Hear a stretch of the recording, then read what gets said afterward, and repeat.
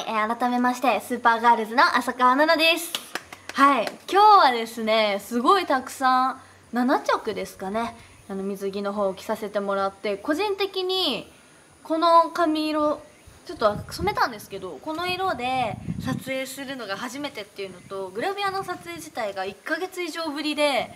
すごくなんかまた初心に帰った気持ちでそしてなんだろうなすごいこの自由奔放に。奔放？合ってるのかな？自由奔放にいつも通り楽しく撮影させていただいて、えー、すごく仕上がりが楽しみだなと個人的に思っております。スーパーガールズとして普段活動してるのでここでお知らせをさせていただきたいと思うんですけどもスーパーガールズがですね12月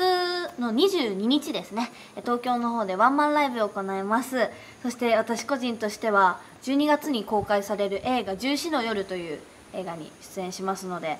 ヤングチャンピオンの読者の皆様もぜひチェックしていただけたらなと思っております。はいヤングチャンピオンさんいつも本当にお世話になってましてたくさん皆さんとお会いできる機会もいただいてすごく嬉しいなと思っております。また皆さんにお会いできることを楽しみに一生懸命頑張りたいと思います。ありがとうございました。バイバーイ。